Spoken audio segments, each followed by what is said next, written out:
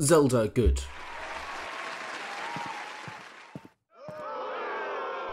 What?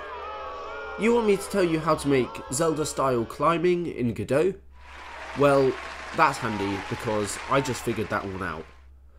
First things first, let's start with my basic character controller. I'm going to run over this quite quickly, all the code's in the description if you want it. If you already have a character controller, feel free to skip this part. In my standard character controller, we have a few important variables. First, we have our speed variables, so we can set the speed of our character.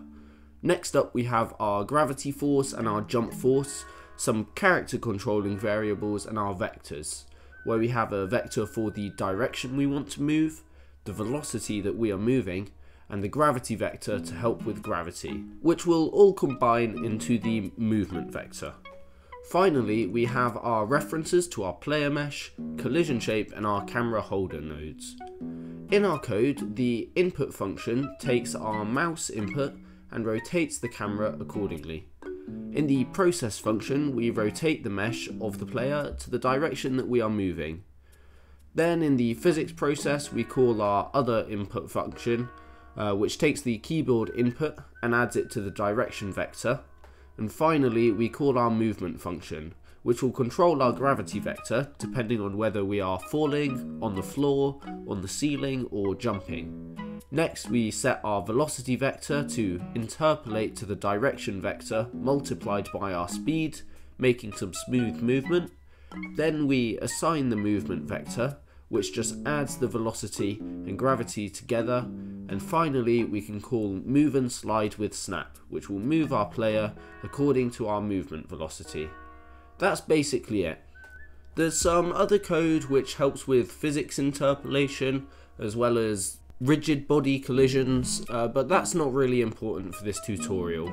Like I said, it's all in the description, and here's the node tree for those that are interested. Anyway, onto the climbing. In The Legend of Zelda Breath of the Wild, climbing is quite simple. The player walks up to a climbable surface, and when they are in range, they will begin to climb up. So, first things first, we need to detect when the player is near a wall to climb. To do this, let's add a raycast called wall check to the front of the player. Then, in a new climbing function, which we will call in the physics process, we can check if the wall check is colliding. But what if the player is right at the top of a wall? Then we will want to push the player over the top. Okay, so we can create another raycast called the still on wall check and position it slightly higher than the other. That way, if only the bottom wall check is colliding, it means that the player is at the top of the wall, and we can push them over the top, maybe using our jump function. If they are both colliding, then it means that the player is still on the wall and we can continue. Next, I want it so that the player must press a button to climb, which is not entirely true to Breath of the Wild, so you don't have to do this, but I will just check if the player is pressing the climb button. And finally, if the player climbs all the way down to the floor, I want them to be able to smoothly walk away. So we'll say if the player is on the floor, then we'll set is climbing to false. Okay, so now we know when the player should and shouldn't be climbing. We just need to actually implement the climbing logic. So, if the player is climbing, we want to set gravity enabled to false so that we're not using gravity and our speed to climb speed so that we're going at the climb speed. Next, for each frame, to stop our direction and gravity vectors from building up over time, we set them both to zero before we do any work on them. Now, we need to be able to move the player relative to the wall that we're climbing on.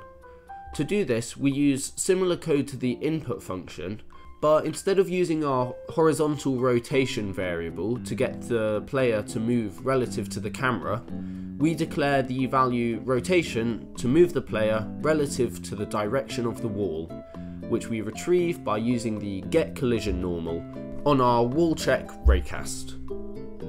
Then we can use our forward and back inputs to move the player up and down, and the left and right inputs to move the player left and right relative to the wall. Finally, we also need to make sure that the player is pointing towards the wall. So in our process function, we will add an if statement to check if the player is climbing, and if they are, face the direction of the wall. This works great, but there is one big problem. There is nothing actually holding the player to the wall. Whenever the player goes round a corner or a curve, they get further and further from the wall until eventually the wall check raycast doesn't reach and the player falls from the wall. To fix this, we need to find a way to stick the player to the wall. To do this, I'm going to add two new position nodes to my player. The stick point holder, which sits exactly on the outside of the player's collision shape, and the stick point, which is a child of the holder and sits in the center of the player. I'm going to add these as variables in my script so I can easily access them, and then when the player is climbing, we can set the stick point holder to equal the wall check collision point, and then set the player's X and Z positions to equal the stick point's X and Z positions. This means that the player's center will always be exactly the player's collision shape radius away from the wall.